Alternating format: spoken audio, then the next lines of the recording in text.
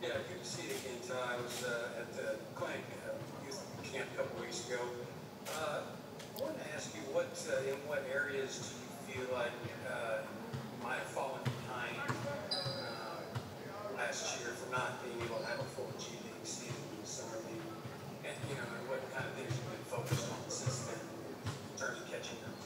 Yeah, I think um, the biggest thing that we missed out on was just you know more game time. Uh, you know, as a player, um, you know when it comes down to it, you can do all the drills you want, but you know to really improve, you need experience. Um, you know, playing real five-on-five basketball. So you know, I think we missed out um, on that quite a bit. You know, I think the the biggest way we've been able to you know make up for that um, is just trying to play five-on-five, uh, pick up, um, things like that. You know, went back home to Minneapolis and played in the Twin Cities Pro Am. Um, and then just you know capitalizing on the opportunity coming up um, here next week. Um, you know we didn't have summer league last year, but we do this year. So um, I think the biggest thing for me and the guys is just to be able to capitalize on that. Okay, Tim Cato.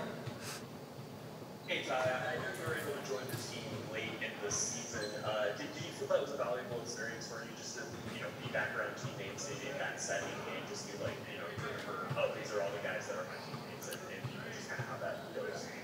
Yeah, I think it was important, you know, for me to come back and experience the playoffs and things like that. Um, but I think the biggest thing for me coming back was just the open arms that everybody gave to me. Um, you know, nobody really judged me or, um, you know, questioned why I was gone. They uh, were supportive, even from the fans. You know, I, I received nothing but love and support, and so um, I'll always be appreciative of that. And it made it, you know, that much easier to, you know, come and get back into the swing of things. Chuck Cooperstein. Go ahead, please. Hey, Ty, uh, what do you think this this experience, just getting this sort you know, organized practice, not just playing five on five pickup? I mean, what was that like even today, just in an organized situation?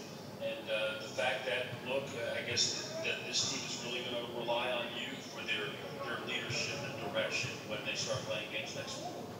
Um, yeah, it felt great to get back out there with all the guys and coaches, um, just to be in that atmosphere where we're all competing and having fun together um, and getting better together. You know, I think for my leadership role, um, it's something that I had to, um, you know, take responsibility for, you know, in high school and in college. So um, it's something that I'm not new to, and I look forward to, you know, the opportunity and the experience to take on that leadership role on this team.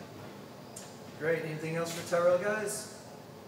All right, Ty, we appreciate your time today, man. Thank you for having me. Take care, guys.